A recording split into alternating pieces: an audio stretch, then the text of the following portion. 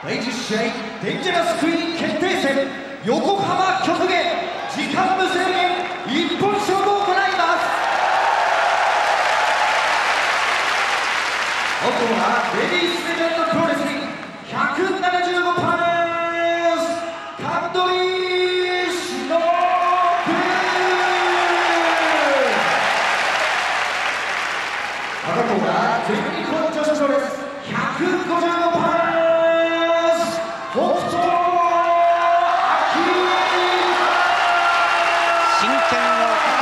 掲げました。北斗晶今日はまさに真剣勝負であります。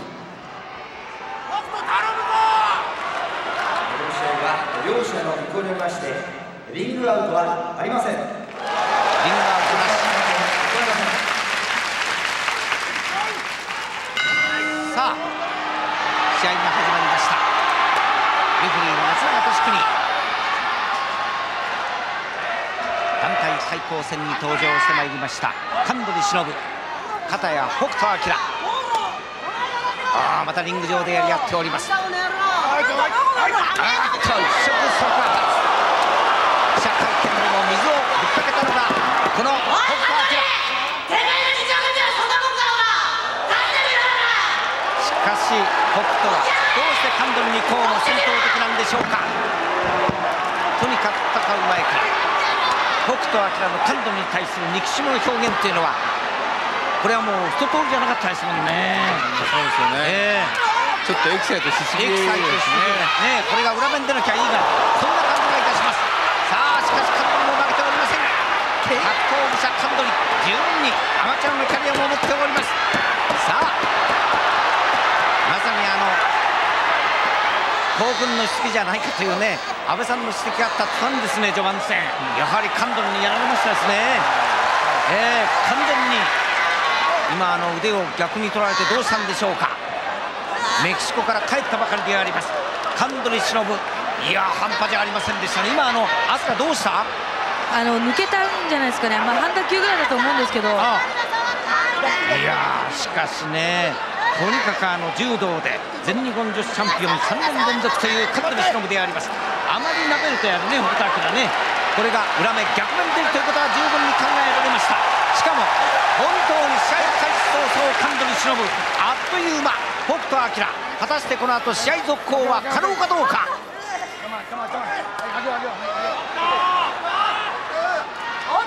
さあ闘志は健在か。試合続行は可能か。こういった感じであります。大丈夫ですかね。まあ痛みはねちょっとあるみたいですけどね、はい。まあね北斗ね何度かね片腕でもやってますからね、うん。そうですええもちろんハンデありますけどね、ええ。この相手ですからね、はい。今ゆっくりと入ってまいりました。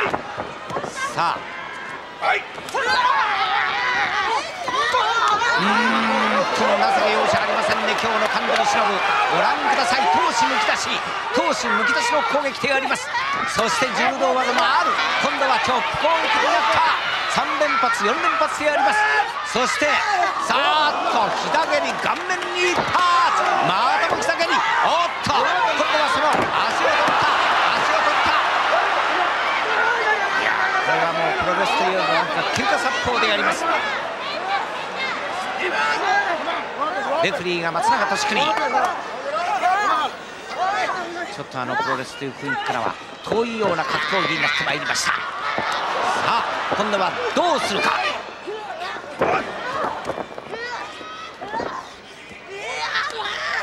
またも直砲になっております。さあさっきあのやられたのは左の方ですか？そうですね、ええ。はい。一応あの左の肩あたりをね、注目しておきたいと思うんですけども今はほとんど使っておりません。キックでとにかくカンドリを今場外に蹴落とした感じであります。北斗。さあイランロープから逆に飛ぼうというところしかしカンドリそうはさせじ今日はカンドリ負けておりません。先に先に攻撃を仕掛けておりますカンドリ忍ちょっと後手に回りました。北斗晶であります。そして痛めた左のことはどうでしょうか。いやー。さあ。関節技。まああの北斗の場合もメキシコ遠征から帰ったばかりでしてね。メキシカンサブミッションがどう出るか私たちも期待してるんですけどもね。しかしね。片腕が効かないとなるとね、ええ。サブミッションはちょっと難しいと思いますけど難しいでしょうね。やっぱり飛び技とかね、はい。のキックとかそういうのに頼るしかないと思うんです。けどそうですか。そうしますとちょっとハンデを背負った感じになりましたねこの試合は。一応試合時間がね今場内に告げられました。しかしこの試合は時間無制限一本勝負であります。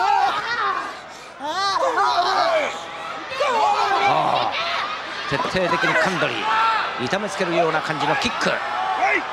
ちょっとあの試合開始早々の元気さがありません。さあまた左の肩腕を攻めておりますカンドリー。苦しくなりました。北斗晶。やられてますね。脇固めの感じに行こうというところでしょう。カンドリー忍得意技の一つであります。このカンドリはえ先日行われた記者会見の時にも、うん。この北斗に対してですね、え骨の一本でも折ってやるから骨を鍛えておけと。えなるほど。そういった気迫を見せたんですよね。そうですか。えまあ柔道で鍛えた関節差っていうんでしょうかね。こういったものを持っております。神取忍であります。今日は本気であります。本気の北斗晶の挑戦を。これも本気で受けて立ちました。さあ場外だ。本部席の方に行っている北斗晶神取ちょうど長坂目の前で。もう今日は徹底している。本本部席の上に立ち上がりました。感じであります。さあここでどうしようというのか。ファイル違うえー？ファイルでおーっとこれは大変だ体を入れ替えました本部席の机の上でパイルドライバーであります本部席がへこみましたよあそうでしょう。これはたまりません。いやまさに今日は本気。いやーへこんじゃった。今カメラがしっかりとこれを捉えております。やりましたね。感動になってませんね。やはり。うんやっぱ気が強いですからね、えー気が強いですね。いやあの少なくともねこの本番を迎える前は北斗晶の方が攻撃的でね戦闘的で完全にもう神取忍を飲んでいたような感じがあったんですがこれを静かに受けていた神取忍。堂々と今晩でねやはり神十分に気の強いところを見せております。今もう最初に仕掛けたのは北斗だったんですけどうまく体を入れ替えました。したね。さあ。ものすごい流血です。ものすごい出血。そうだろうなあの本部席の机の上にねパイルドライバーじゃたまったもんじゃありません。これはちょっと続行不能じゃないですか。ものすごい出血ですよ。しかも今度は大出血であります。さあ北斗。戦前の勢いはどうしたか。そういった感じになってまいりました北斗晶。やはりあれだけの出血になりますとね意識も朦朧としてくるんじゃないでしょうか、そうですね、ええまあでも顔面鮮血に染めております北斗晶。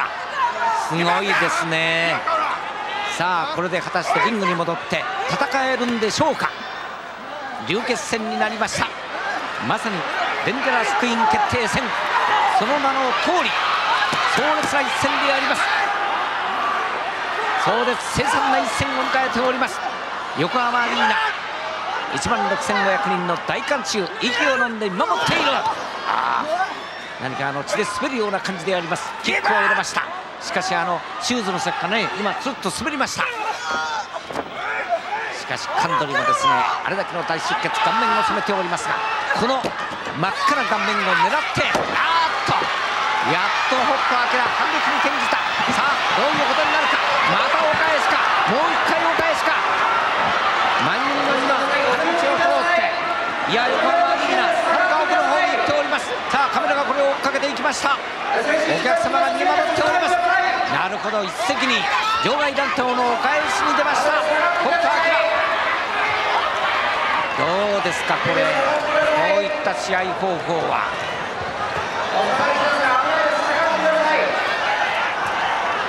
あの相当肩を痛めた。しかも大出血があるとすれば飛鳥はい。こういったあの試合しかあるいは北斗としてはできないのかな？どうなんでしょうか？まあでも本当に今安倍さんが言ったようにね、ええ。お互いすごい興奮してましたから、ねやはりこういう試合になってしまったんでしょうね。そうでしょうね、試合開始前から異常な喜びというか大興奮でした両選手。特にあの北斗晶が大変だったんですけども。いややはり血を読みました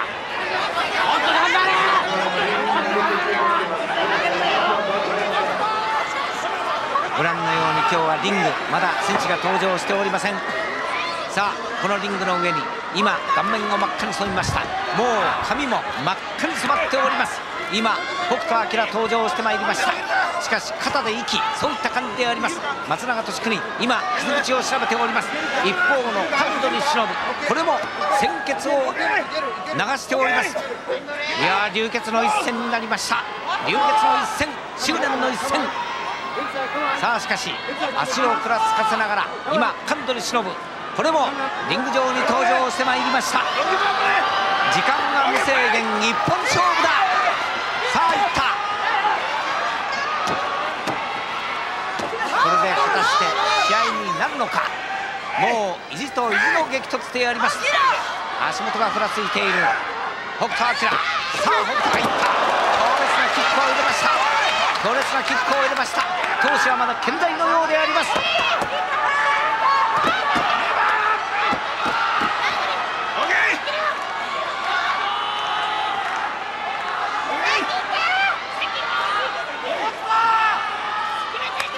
さあ果たしてこのストーンに決着をつけるのはカントリーでしょうか？あるいは北斗でしょうか？おっとここから飛ぶか？さあ場外にあーっと1回転でやりますこれは見事足が今顔面に当たったんじゃないでしょうか。当たりましたね。さあ大の字になったカンドリー。ここは北斗晶大きなチャンスでやります。いやートップロープから1回転。さあ北斗もなんとかリング上に戻ろうとしております。カンドルは大の字だ。場外で大の字であります。今ようやく起き上がりました。珍しいですね、えコーナーのね最上段からよく飛び込む広はやるんですけどね、ええええ。今あのトップロープの上からやりました。ね。ええ1回転これは見事。そして今度はもう1回おっとミサイルキックでやります。今度はコーナーポストからミサイルキック。場外に鮮やかなミサイルキック。さあようやく北斗らしい攻撃も出てまいりました。しかし北斗も参っている。カンドリはもちろんダメージを受けております。さあ北斗が今助けられるようにいたしましてリングの上。カンドリはどうか？カンドリはどうか？北斗が今実況に上がった。今試合時間は25分経過場内に告げられました。しかし一応試合経過をつけられておりますがこの試合は無制限時間無制限一本勝負であります。両選手にとりましてまさに過酷なルールになりましたですねそうですね、ええさあカンドリも上がってきた。そしてカンドリも今髪の毛を捕まえた。場内にアピールした。さあ北斗。どうするか。また体勢を崩されました。どうするか。どうするか。いやいやいやいやいやいや。激しい動きがリング上展開されております。どうですか。ちょっと今あの見えないんですけどもね。もうカメラマンがぎっしりとリングサイドを取り囲んでおります。グランド技になりますとちょっと分かりません。今どうしようとしたんですかカンドリは。かなり逆腕をしい逆手ですね。あそうですか。はいはい。あ腕を取ったんですね。でロープに、ええ。ロープブレイクでも離さなかったという感じですね、なるほどなるほど。そうですか。もう一つ見えよく、はい。混戦になってたんですよ、あのカンドリとしては必要な攻撃ですね、はい。ええ。さあまた腕を取りに行きました。腕を取ってますね。あー腕を取ってますね。腕を取られてます。さあしかし北斗。おお今度このまま。さあカントが入る。このままスリーか。危なかった。いやーなんとかピンチを逃れました。しかし依然として北斗。大ピンチであります顔面を鮮血に染めて北斗晶苦戦が続いております。横浜アリーナ。神取忍しかしこれも今一歩及びません。必要な攻撃も。今一歩であります。最後は北斗晶に。なんとかかわされております。さあまたいった。今日は北斗らしさが全く出ておりません。北斗としても試合をやりながらこういったあの自分が非常に惨めな感じになっているんじゃないでしょうか。平手打ちでやります。神取忍さあ起き上がるか？北斗晶。宿命の対決因縁の対決でやります。おーっと今度は後ろを取った。そのまま一旦後ろを落としました。これが決まるか？カウントは3つ入るか？入りません。惜しいですね。今のはしかし来ました。後頭部を打ちました鮮やかさあこれが反撃のきっかけになるか北斗晶さあ北斗晶反撃をつかんだようやくようやくチャンスをつかもうとしております北斗晶さあ北斗ボールが巻き起こります横浜アリーナ強敵を待っておりますと北斗ファンでありますさあ抱え上げてゴールラインそのまま落としたノーザンライトボムが出ました3つ入るかノーザンライトボム3つ入りませんでしたなんとかかわしました神取忍やはりこの辺り神取忍大したもんであります負けておりません今は大逆転かと思いましたねねまあノーザンライトボムを跳ね返されたの久々ですよほねとんどないでしょう、記憶がね。いやー、ノーザンライトボムでも決着をつけることができなかった。今度は逆に、あーっと落とした。お返しだ。これはじゃあ、お返し3つだ。半分もやるんですね。そうですね驚きました。さあ、ノーザンライトボム連発でやります、両選手。しかしこれもカウント2でした。決着回つくのか横浜アリーナ。場内騒然としております。さあハンドリとそして北斗の宿命の対決。執念の一戦。ほとんどほとんどもう朦朧としている感じの両選手でありますがさすがに勝負どころではやはり一瞬の間が冴えるんでしょうか。強烈なパンチを繰り出しました。これは止まりません。顔面に入ってますか？今ですか？肘がエルボーが入りまエルした。ねボーが入った、はいさあ。しかしね一つ技を出してはもうねなかなかと伸びるといった感じであります。さあエルボー攻撃一戦これはいってる。さあ今度は30分を経過いたしました。今日の一戦。北斗晶神取死闘の30分が経過しました。さあ北斗一瞬のチャンスを使いました。ノーザンライトボム。しかしこれも不発に終わっております。おっと。そうです。しかしこの後が両選手とも続きません。したがってなかなかホールを取ることができません。カウント3に持っていけません。さあ上に行った。今度はどうか。松永俊邦3つ入った。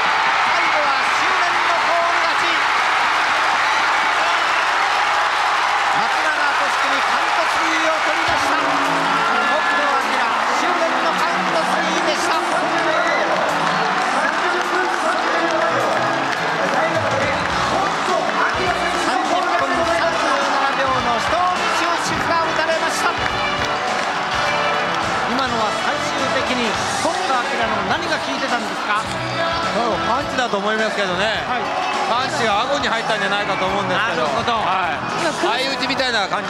クロスあそこはどう見る？クロスカウンターでり。うん。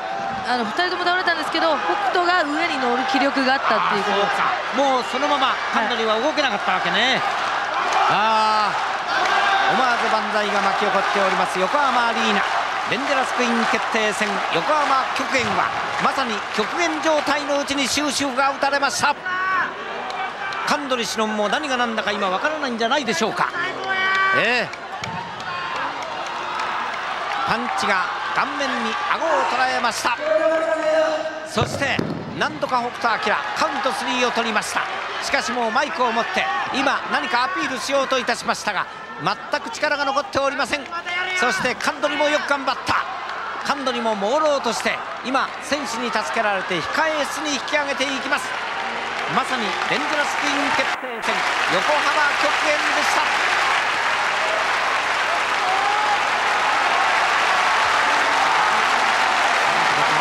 北斗晶選手。お客様にご紹介されております